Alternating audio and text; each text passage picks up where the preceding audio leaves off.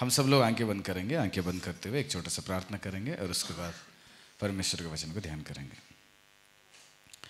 स्वर्ग विराजमान परमेश्वर, आपको स्तुति और धन्यवाद करते हैं। इस पवित्र समय में हम सब लोग मिलकर तेरे पवित्र मन में आकर और पवित्र बातों को समझने के लिए तेरे पवित्र आत्मा के अगुवाई से हमें प्रेरणा की इसलिए धन्यवाद। वचन को सुनने वाले सभी लोगों को आशीष कर हर सुनकर प्रभु जीवन में उसको लागू करते हुए तेरे नाम की महिमा करने के लिए मदद करना।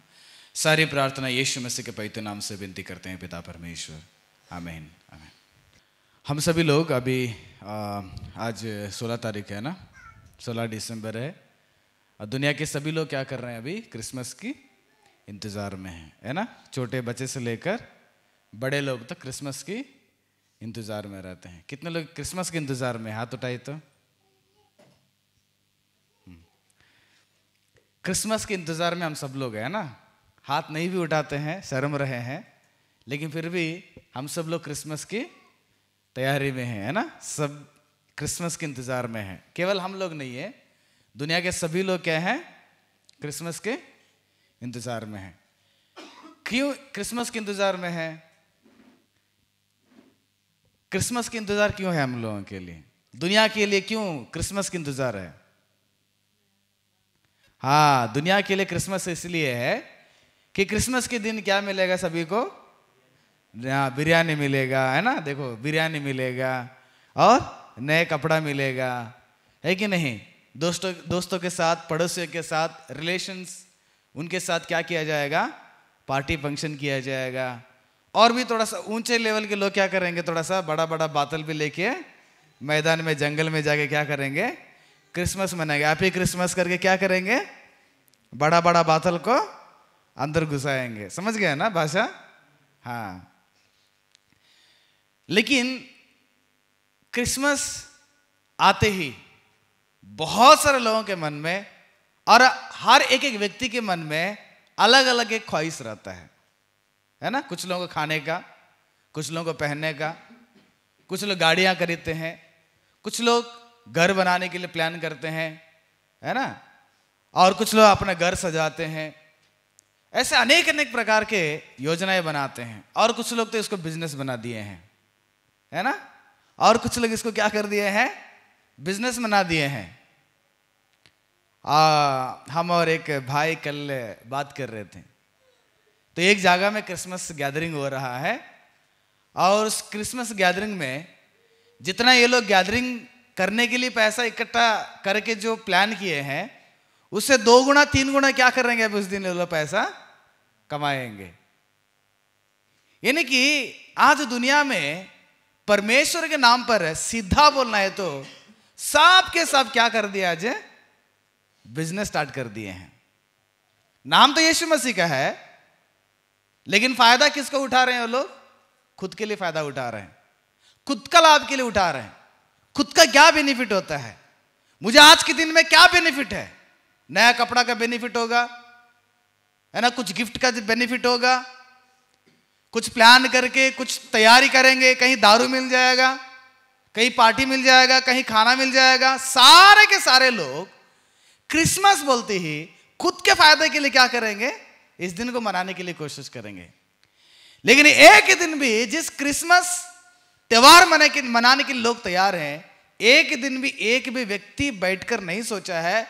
जिस व्यक्ति के लिए या जिस चीज़ के लिए क्रिसमस मनाया जाता है, वो आखिर कौन है?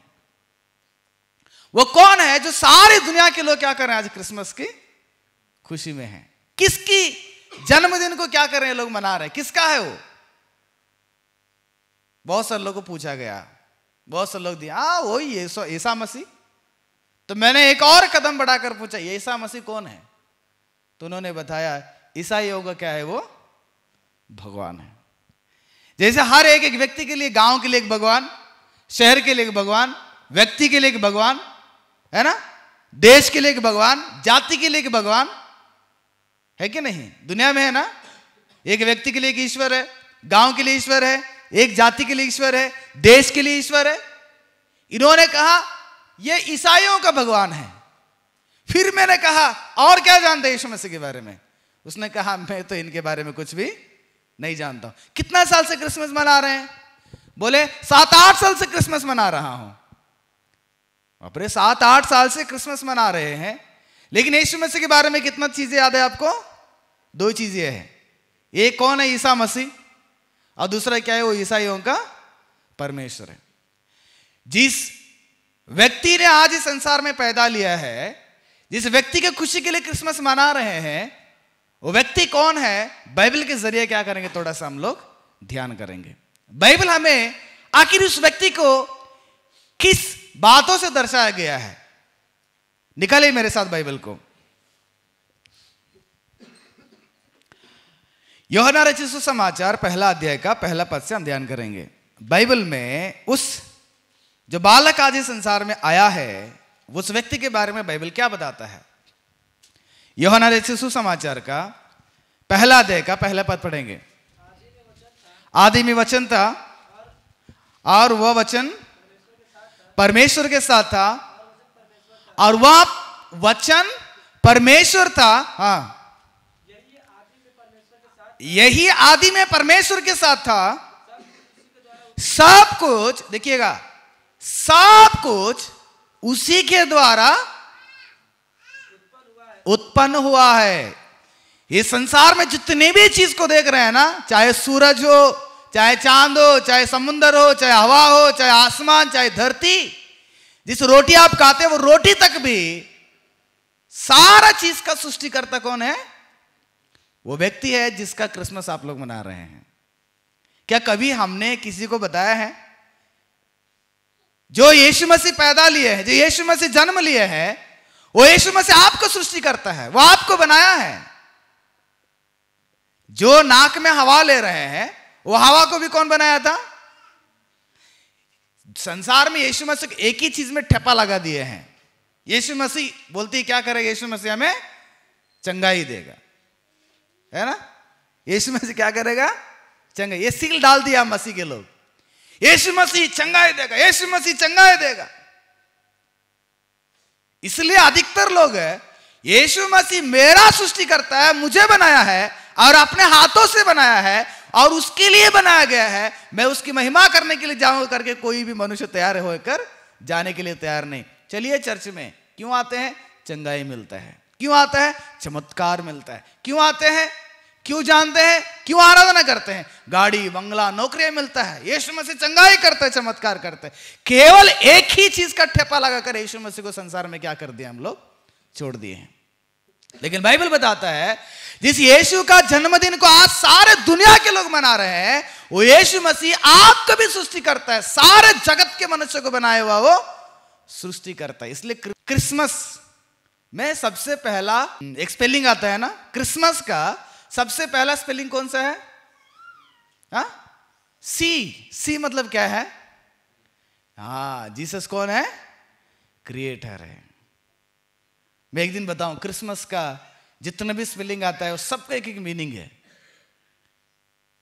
सी का मतलब क्रिएटर यीशु मसीह क्रिएटर है। आप यीशु मसीह का जन्मदिन इसलिए मनाना चाहिए कि मेरा सृष्टिकर्ता आसमान से होकर इस धरती पे, जिस धरती पे मैं रहता हूँ, इस धरती पे क्या हो गया वो? आ गया है। इसलिए मैं क्रिसमस मनाने के लिए तैयार होना चाहिए। नई कपड़ा खरीदने के लिए हो, या गिफ्ट लेने के लिए हो, या गाड़ी घर बनाने के लिए हो, गाड़ी घर धोने के लिए हो, अपना कपड़ा धोने के लिए, अपने आप को सजाने के लिए नहीं। आप इसलिए मनाओ कि मेरा सृष्टिकर्ता परमेश्वर, इस संसार में क्या हो गया है? मेरे लिए मनुष्य बनकर आया है। वो कौन है? यीशु मसीह? सृष्टि करता है, जो मुझे बनाया था। सारे धरती को, सारे विश्व को उसने बनाया था।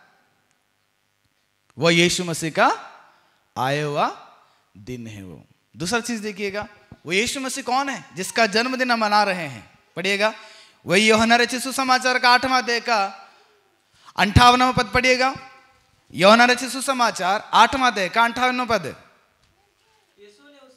यीशु ने उसे कहा, मैं तुम लोगों से सच कहता हूँ कि पहले इसके अब्राहम उत्पन्न हुआ, मैं हूँ। यीशु मसीह कौन है पता है? जिस यीशु मसीह का जन्मदिन को मना रहे हैं, जिस ईसा मसीह के जन्मदिन के लिए आप कली से मैं जा रहे हैं, आप तैयार हो रहे हैं, वो यीशु मसीह कौन है पता है? वो यीशु मसीह सनातन का है। क्या नो कौन है वो? सनातन एटर्नल बोलते उसे। वो आज के नहीं है प्रियो। दुनिया में 2000 वर्ष पूर्व में यीशु मसीह को जानते हैं। लेकिन यीशु मसीह ने अपने पहचान को इस संसार में बाइबल के द्वारा दिखाया कि मैं केवल 2000 वर्ष पूर्व का नहीं हूँ। मैं बेतलेहम में मनुष्य बनकर आने से पहले, अब्राहम इस संसार में पैदा होने से पहले मैं था। यीशु मसीह का जन्मदिन जो मना रहे हैं ना, वो कौन है? सनातन का परमेश्वर है। सनातन परमेश्वर होता है। इस संसार में कोई धर्म नहीं होता है। सनातन का परमेश्वर की आराधना कर रहे हैं। इसलिए प्रो याद रखिएगा, यीशु मसीह का इतिहास केवल 2000 वर्ष पूर्व का नहीं है। बाइबल बताता है, मैं पहले था, मैं हमेशा शुरू में ही हूँ। प्रकाशित वाक्य पहला देगा, आठवां पद जाके पढ़िएगा, मैं ही शुरू, मैं ही आदि हूँ करके यीशु मसीह बताते हैं। हमने कभी बताया लोगों को? कभी बताया है क्या? नहीं बताया। यीशु मसीह केवल बेतलेहम से ही शुरू कर दिया हम लोग, है ना? अभी गाना में भी देखिए, बेतलेहम में हम भी लिखे थे। बेतलेहम में यीशु क्या हो गया है? जन्म, आदत हो गया हम लोगों को। यीशु मसीह बेतलेहम में जन्मा है, आज तक कोई भी गाना ऐसे नहीं सुना हो कि सनातन का परमेश्वर संसार में आया बोल के, अगले साल लिखूँगा ज़रूर। जैसे जैसे बाइबल पढ़ते हैं, जैसे जैसे बाइबल का वचन मिलता है, वैसे वैसे हमें क्या करते हैं? परमेश्वर समझाते हैं। हम बतलेहम से ही परमेश्वर यीशु मसीह को शुरू कर दिए हैं। लेकिन यीशु मसीह बता, यीशु मसीह बताते हैं आधा सॉरी अब्राहम का जन्म से पहले मैं था। आइब से परमेश्वर ने पूछे, इस धरती को जब मैं नींव डाला था तो आयुब तुम कहा थे? है ना? सृष्टि करता है। यीशु में से सृष्टि करता बिगिनिंग है वो। उस परमेश्वर की जन्मदिन को क्या कर रहे हैं हम लोग? मना रहे हैं। इसलिए यीशु मसीह ने 2000 वर्ष पूर्व में जन्मा नहीं है। मैं हमेशा बोलता हूँ और लोगों को समझाता हूँ, यीशु मसीह ने जन्मा नहीं, यीशु मसीह ने संसार में आया है। आने के लिए मरियाम को क्या कर दे? परमेश्वर ने इस्तेमाल किया। इसलिए इस्तेमाल किए कि भविष्यवाणी क्या करना था? पूरा होना था। एक कन्या के द्वारा यीशु मसीह आने वाले थे। इसलिए यीशु मसीह कौन है? सनातन का परमेश्वर है। सनातन का है वो। पहला कौन है? वो क्रिएटर है। जिस यीशु मसीह का क्रिसमस मना रहे हैं, वो आपका सृष्टि करता है। वो सृष्टि में एक नहीं, वो सृष्टि करता है। और दूसरा कौन सा है? वो सनातन से आज या दो हज़ार, चार हज़ार, एक हज़ार, दो हज़ार, पंद्रह हज़ार, एक करोड़ साल का नहीं शुरू से वो सनातन से हो जिस तीसरा पढ़ेंगे। लुका रचित समाचार, पहला अध्याय पैंतीसवा पद देखिएगा। लुका, पहला अध्याय पैंतीसवा पद।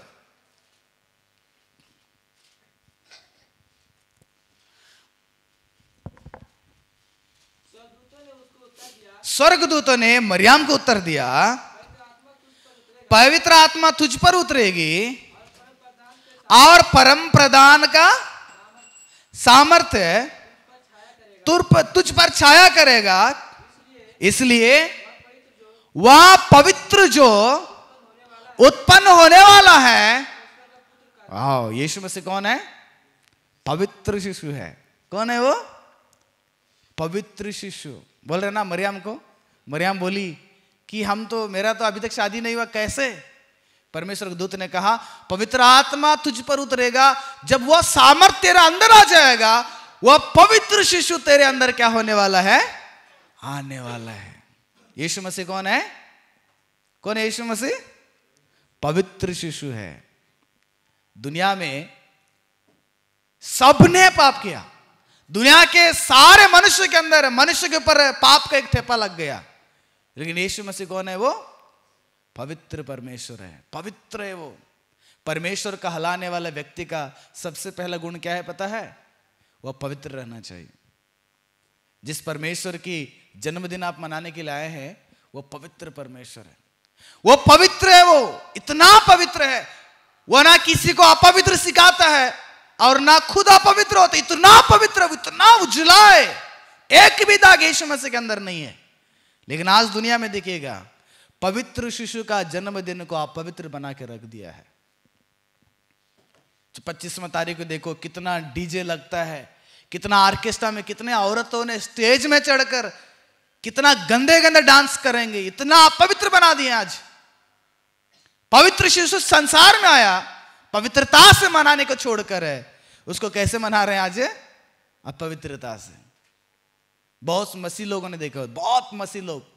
इवन परमेश्वर का बाइबल पकड़ के प्रचार करने वाले बड़े बड़े लोग भी, उन दिनों में दाढ़ी दारू, पार्टी, फ़ंक्शन बोलेगे, यीशु मसीह पैदा हो गया, खुश है, दारू पिएँगे। यीशु मसीह पैदा, खुश है, इसलिए सबके साथ नाचेंगे। औरत लोग, लड़का लोग, लड़की लोग, पूरा फिल्मी डांस, फिल्मी स्टेप लगाकर पूरा बर्बाद करके रख देंगे अभी पच्चीसवां तारीख को। लेकिन हमें यह समझ में आना चाहिए, पवित्र शिशु जब इस संसार में आया है, हमारा जीवन में पवित्रता के साथ परमेश्वर का उस दिन को क्या करना चाहिए? मनाना चाहिए। पवित्र शिशु मेरे और आपके लिए संसार में आया है और मेरा जीवन को पवित्रता से परमेश्वर के लिए क्या करना चाहिए? सुनो, समर्पण करना चाहिए। हम अपवित्र होकर पवित्र शिशु का क्या कर रहे हैं? जन्मदिन को मना रहे हैं। हमारा सोच को बदलना है। हमारे जीवन को बदलना चाहिए। क्रिसमस का सही मतलब ना जानते हुए बहुत सारे लोगों ने अपने जीवन में क्या कर रहे हैं? कदम बढ़ा रहे हैं। फ़र्स्ट स्पेलिंग क्रिसमस का सी जीसस इज़ क्रिएटर दूसरा स्पेलिंग दूसरा स्पेलिंग कौन सा है? एच है ना? एच का दूसरा मीनिंग क्या है? होली है ना? यीशु मसीह कौन है? पवित्र है। ठीक है? सनातन को छोड़ देंगे हम। यीशु मसीह कौन है? पवित्र है। पवित्र परमेश्वर का जन्मदिन को क्या करेंगे हम? पवित्रता से मनाएँ। प्रभु आपके उस प्रोग्राम में मैं ऐसे काम करूँगा कि इसके द्वारा आपका पवित्रता ठहरे रहे। यीशु मसीह, ऐसी चीज़ों को सिखाते हैं क्या? दारू पी के मेरा मस्ती करो, हा? जवानी औरतों को लड़की लोगों को डांस में, स्टेज में नचा के, हा? इधर जवान लोग में नचाएँगे। बदलना चाहिए हमारा जीवन में। जैसे हमें परमेश्वर का संदेश पहुँचता है, जैसे परमेश्वर का वचन पहुँचता है, वैसे हमारे जीवन को क्या करना चाहिए? हमें बदलना चाहिए। इसलिए प्रिय परमेश्वर के लोगों, पवित्र शिशु हमारे लिए जन्मा है। इसलिए हम क्या करना पड़ेगा? क्रिसमस को सारे दुनिया के लोगों को बताकर मनाना पड़ेगा। चौथा चीज़ देखिएगा।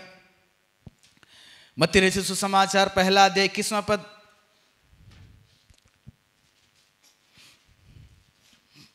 मत्ती, पहला दे इक्कीसवा पद।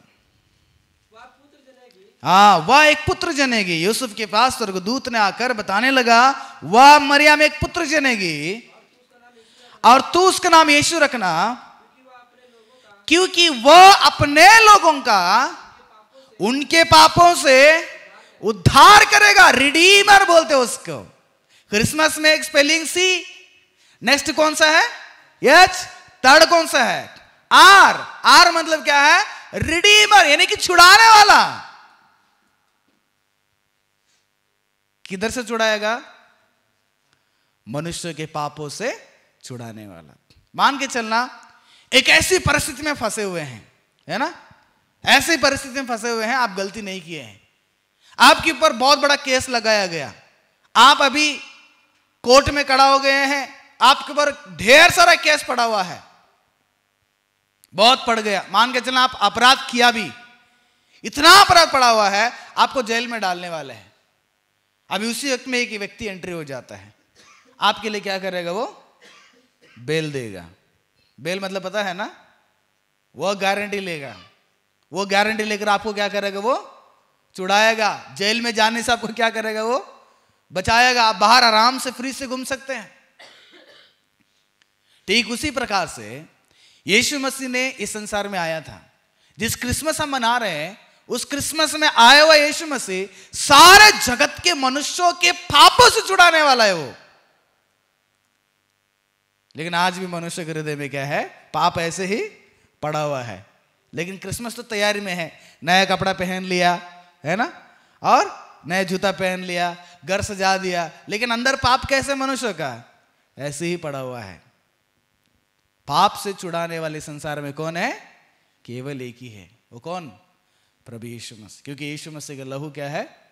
पवित्र है। बहुत पवित्र है। इसलिए जिस क्रिसमस में हम लोग आए हैं, जिस क्रिसमस को हम मना रहे हैं, उन सारे क्रिसमस में एक चीज़ हमें याद रखना पड़ेगा, वह इस दिन में आचरण करने वाला व्यक्ति सारे मनुष्य के पापों से क्या करेगा वो? छुड़ाएगा। क्योंकि अब देखो, परिवार में बहुत लड़ाई झगड़ा देश देश में लड़ाई झगड़ा राज्य राज्य में लड़ाई झगड़ा, दोनों के बीच में लड़ाई झगड़ा होता है। कारण क्या है? दोनों के जीवन में पाप है। दोनों लोग उससे ये जलता है, उससे ये जलता है। अभी जलन के पाप से छुड़ाने के लिए यीशु मसीह ने आया था। बहिर्भाव के पाप से यीशु मसीह ने छुड़ाने के लिए आया था। संसार में बहुत बड़ा पाप भरा हुआ है। वो सारे पाप से छुड़ाकर आपको एक पवित्र रास्ते में लेके जाने के लिए यीशु मसीह ने आया था। लेकिन हम लोग पाप में जी रहे हैं और यीशु मसीह के जन्मदिन को हमेशा हर साल क्या कर रहे हैं? मना रहे हैं। एक होता ना, एक आदत हो गया हमारा मसीह लोगों के जीवन में कि चलो क्रिसमस आया है, मनाएँगे। साल में एक त्यौहार तो है, पूरा पैसा खर्चा करके आराम से मनाएँगे धूमधाम से। लेकिन ज़िंदगी में कोई भी बदलाव इनके जीवन में नहीं है। दिखाना पड़ेगा। यीशु मसीह पाप से छुड़ाने के लिए आया था। देखो, मेरा इतना पाप था, वो सारे पाप से यीशु मसीह ने छुड़ाए करके मुझे और आपको समाज में क्या करना पड़ेगा साबित करके दिखाना पड़ेगा। और यीशु मसीह ही एक है जो सारे मनुष्यों के पापों से क्या कर सकता है, वो छुड़ा सकता है। देखो, जिस यीशु मसीह के जन्मदिन को मना रहे हैं, वो यीशु मसीह कौन है? सृष्टि करता है। और वो यीशु मसीह कौन है? सनातन से रहने वाला है। और वो यीशु मसीह कौन है? पवित्र परमेश्वर है, पवित्र शिशु है। और वो यीशु मसीह कौन है? वह सारे मनुष्यों के पापों से वो छुड़ाने वाला है। पांचवा चीज़ देखिएगा। पांचवा चीज़ क्या है? योहना रचित सुसमाचार चौदह दे छठवा पद।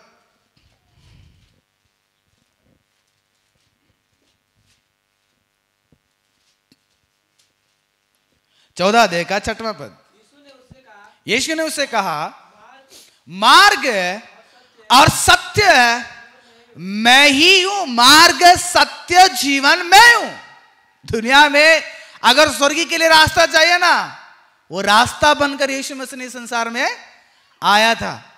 लोगों ने मुक्ति के लिए यानी कि मोक्ष के लिए, स्वर्ग को जाने के लिए कई सारे रास्तों को ढूंढ चुके हैं।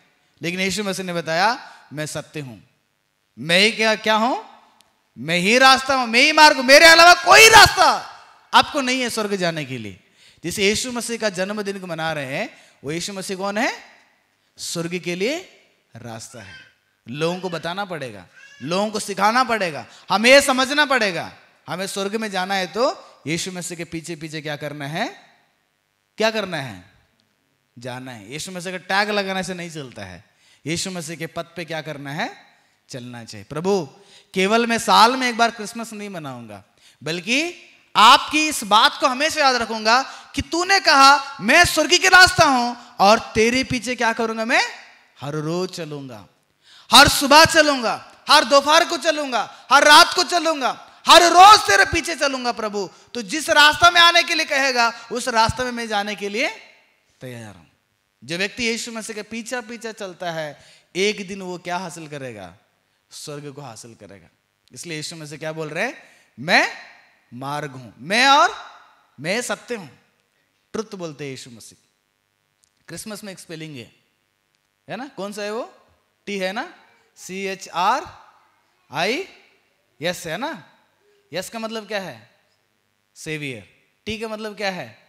ट्रुथ है ना? वो सभी स्पेलिंग एक एक मैं आपको मीनिंग बाद में बता दूँगा। तो यीशु मसीह मार्ग और सत्य और जीवन है। क्या आप यीशु मसीह के रास्ते में जीने के लिए तैयार हैं? चलेंगे क्या? ना ना यीशु मसीह चाहिए हमको। किसके लिए? वही तकलीफ़ आएगा तो यीशु मसीह हमें छुड़ाना है ना। और यीशु मसीह के मार्ग में जीने के लिए रतन तैयार नहीं है। कि नहीं? यीशु मसीह बोलेंगे कि पाप को छोड़ दो। नहीं नहीं, प्रभु, हम नहीं छोड़ेंगे। यीशु मसीह बोलेंगे, चोरी छोड़ दो। नहीं, प्रभु, हम चोरी तो नहीं छोड़ पाएँगे। यीशु मसीह बोलेंगे, व्यभिचार को छोड़ दो। नहीं नहीं, प्रभु, व्यभिचार तो नहीं छोड़ पाएँगे। हम आपको हाथ में रहे हाँ आप मेरे घर पे, देखो दीवार में है, गले में है है कि नहीं? स्टेज में आज क्रिसमस, बहुत खर्चा करूँगा प्रभु आपके लिए। आपके लिए कितना खर्चा करेंगे? लाखों रुपए खर्चा करेंगे। पता है यीशु मसीह, आपके नाम को लेकर कितना धूमधाम से मैंने किया कार्यक्रम। लेकिन आपके पथ पे नहीं जीना चाहता। ऐसे लोगों को क्या करना संसार में? ऐसे लोगों को क्रिसमस परमेश्वर स्वीकार करेंगे? नहीं स्वीकार करेंगे। आप करोड़ों के हिसाब से आप खर्चा करो, लेकिन कोई फ़ायदा उससे नहीं होता है। इसलिए प्रियो, हमारे और आपके जीवन में क्या करना पड़ेगा? एक चीज़ समझना पड़ेगा। क्रिसमस में पैदा हुआ यीशु मसीह जो आया था इस संसार में, वो कौन है? वो एक मार्ग है। स्वर्ग के लिए मार्ग है। हम उस यीशु मसीह के पीछे क्या करना है? चलना चाहिए। जो नहीं चलेगा वो यहीं रह जाएगा। ठीक है? और क्या हो जाएगा बाद में बता दूँगा। एक और पढ़ेंगे हम लोग। जिस यीशु मसीह के जन्मदिन को मना रहे हैं, उस यीशु मसीह कौन है? यशया बशुद वक्ता की किताब, नवा अध्याय चटवा पद।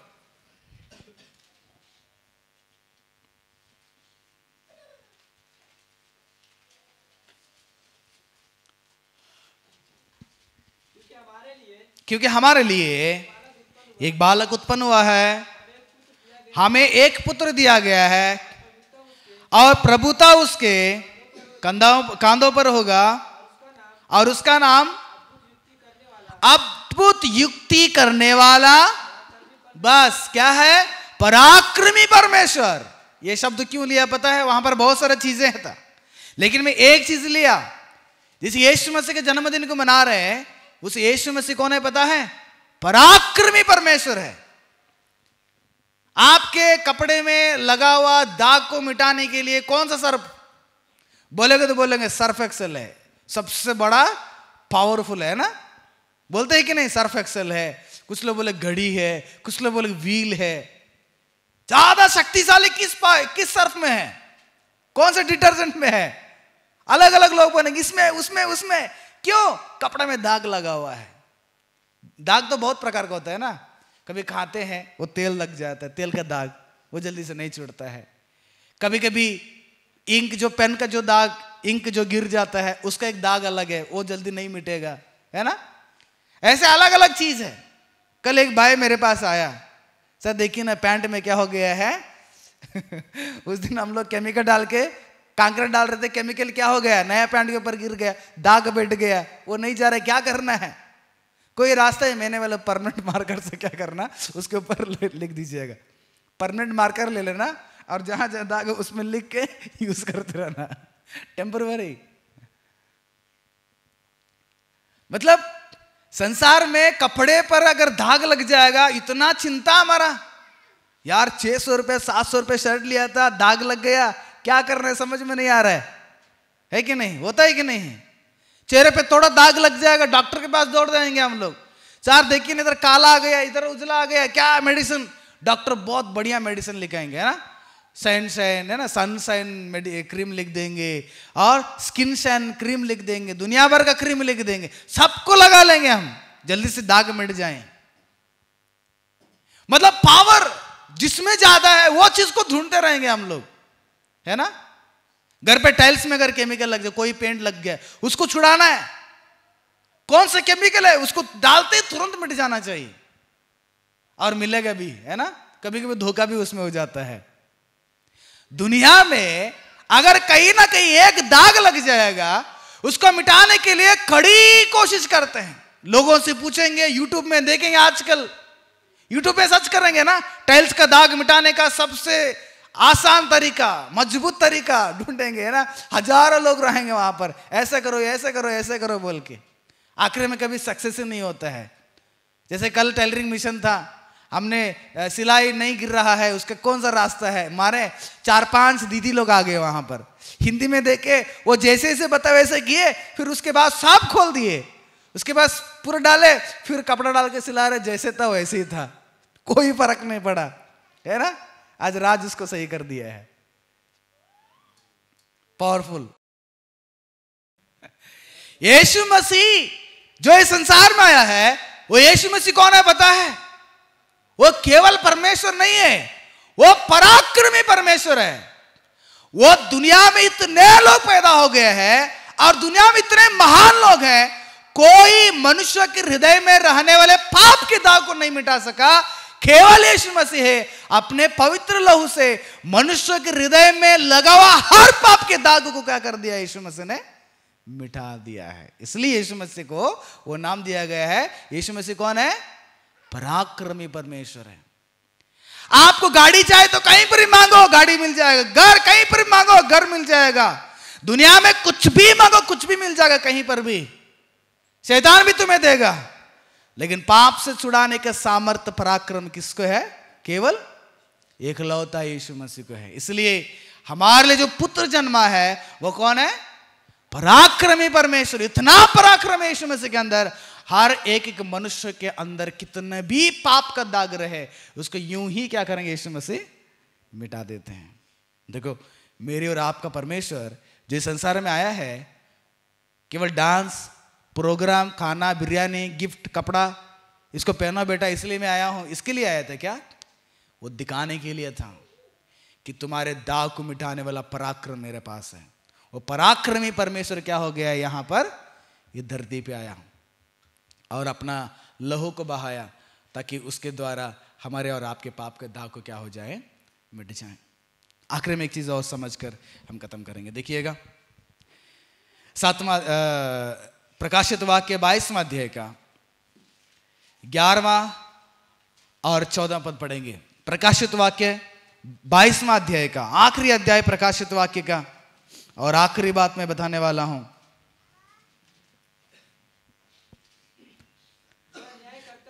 हाँ क्या बोलते हैं? जो अन्याय करता है। भैया, तू कितना भी अन्याय कर रहा है ना तो अन्याय करते रहो, और भी करते रहो हाँ। हाँ। हाँ वो मिलन है, वो मिलन बना बनाते रहो। जो धर्मी है, वो और भी धर्मी बनते रहो। जो पवित्र है, और भी पवित्र बनते रहो। हाँ कंटिन्यू बारह। देखो, मैं शीघ्र आने वाला हूँ। और हर एक को उसके कामों के अनुसार बदला देने के लिए प्रतिफल मेरे पास है। जिस यीशु मसीह का जन्मदिन को मना रहे हैं ना वो आम नॉर्मल परमेश्वर नहीं है। वो न्यायाधीश्वर है, वो न्यायाधिपति है। सारा जगत का न्याय चुकाने वाला परमेश्वर है। आप क्या सोचे, छोटे से नन्हे से बच्चा? चरणी में आया नन्ना सा बच्चा। गाना गाते हैं कि नहीं? हा? चरणी में आया नन्ना सा बच्चा। चरणी में आया तन्नी को यीशु मसीह, है? ऐसे गोदी में, ऐसे गोदी में करते रहेंगे। ये आपके रियल लाइफ को दिखाने के लिए यीशु मसीह ने एक मनुष्य के रूप में, एक बालक के रूप में आए थे यीशु मसीह। लेकिन सच में यीशु मसीह बालक नहीं थे। यीशु मसीह कौन है पता है, वो सबका, सब मनुष्य का न्यायाधीश है वो। जो आज ज़िंदा है, जो मरे हैं, जो कल पैदा होने वाले, जो आदि मनुष्य आदाम से लेकर आखिरी मनुष्य क्यों ही कोई भी हो सकता? वहाँ तक रहने वाले सारे मनुष्यों को, यहाँ तक भी स्वर्ग दूतों को भी न्याय करने वाला कौन है? प्रभु यीशु मसीह है। यीशु मसीह बोल रहे जो, कितना पाप करते करते रहो तो कितना अन्याय करते करते रहो तो कितना अपवित्र करते रहो, पवित्र होने वाला पवित्र बनो, सिद्ध होने वाला सिद्ध बनो, पाप करने वाला और भी पाप करते रहो, कोई बात नहीं, लेकिन एक दिन में क्या करने वाला हूँ? मैं आने वाला हूँ, तब तुम्हारा शादी मैं करूँगा। है कि नहीं? शादी? बराती तब ले लूँगा आप लोगों का। ऐसा बैंड बजाऊँगा, ऐसे बैंड बजाऊँगा, मौका नहीं। हमेशा मुक्का ही है है ना? हमेशा मैं बोलता हूँ नो मौका ओनली मुक्का इसलिए प्रिय, बदल जाना चाहिए। हमें सुधरना चाहिए। हम कब तक ऐसे पापों में रहें? हम कब तक ऐसे अपराधों हम कब तक ऐसे पुराने जीवन में रहे हम लोग?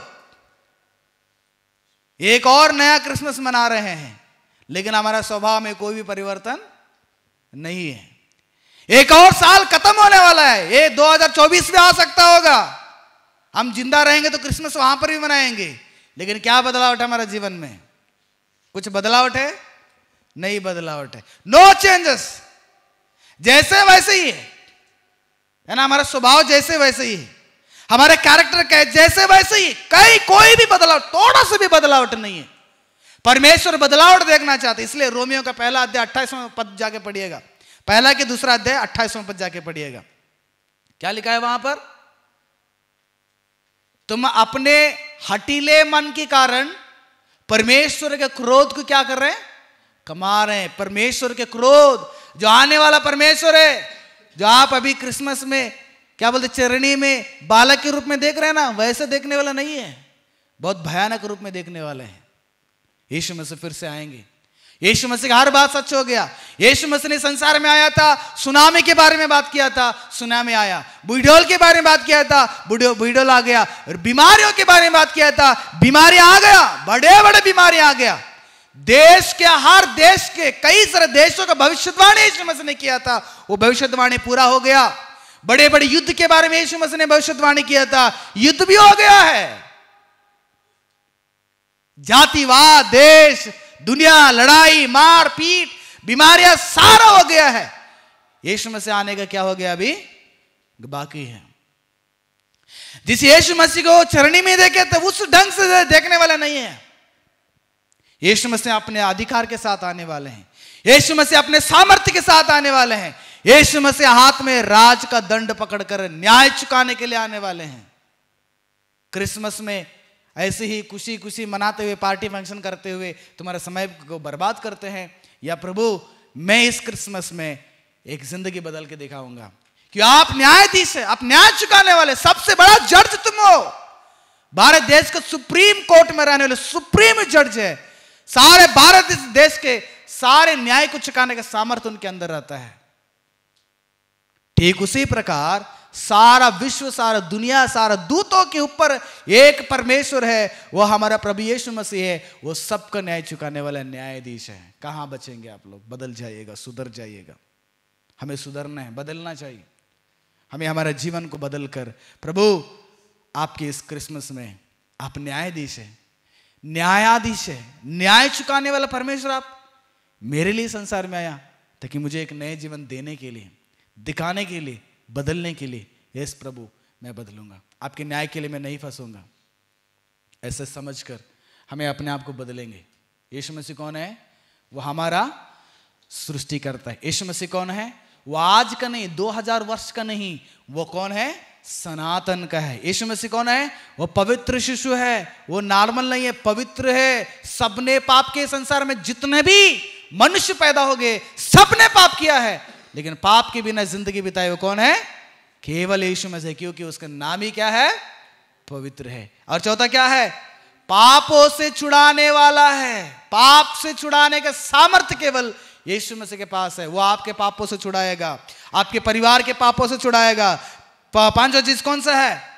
यीशु मसीह स्वर्ग के लिए मार्ग है। जो यीशु मसीह का बर्थडे मना रहे हैं ना, वो कौन है? स्वर्ग के लिए रास्ता है। और छठवा चीज़ पराक्रमी परमेश्वर इतना सामर्थ है। यहाँ तक भी पाप को भी छुड़ाने का सामर्थ्य किसके पास है? यीशु मसीह के पास है। और सातवां? हाँ दुनिया के सारे मनुष्यों का न्याय चुकाने वाला वो न्यायाधीश है।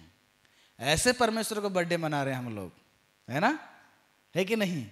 तो कैसे मनाना चाहिए? केवल नए कपड़ा? हाँ? बहुत गंभीर होना चाहिए। उस क्रिसमस में पाप नहीं होना चाहिए। उस क्रिसमस में मेरे जीवन में पाप नहीं होना चाहिए।